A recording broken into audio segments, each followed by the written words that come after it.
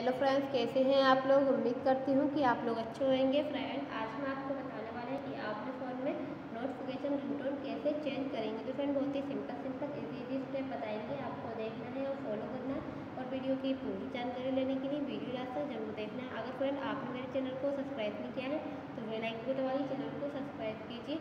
यहाँ पर आपको ऑप्शन देखने को मिलेगा सेटिंग सेटिंग को ओपन कर लेना ओपन करने के बाद में आपके सामने बहुत सारे ऑप्शन ओपन होंगे यहाँ पर आपको साउंड पे क्लिक कर पे क्लिक करने के बाद mobile volume ringtone notification alarm तो यहाँ पर आपको बहुत सारे ऑप्शन देखने को मिलेंगे तो आपको यहाँ पर नोटिफिकेशन रिंगटोन पे क्लिक कर लेना है। आप यहाँ से अपने फ़ोन में नोटिफिकेशन रिंगटोन चेंज करेंगे तो इस प्रकार आपको अपने फ़ोन में नोटिफिकेशन रिंगटोन चेंज कर लेना जो भी आपको सेट करना है, आप इस प्रकार अपने फ़ोन में सेट करेंगे।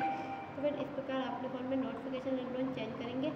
आई होप अगर आपको मेरी वीडियो अच्छी लगी हो गाइस तो वीडियो को शेयर करें लाइक करें चैनल पर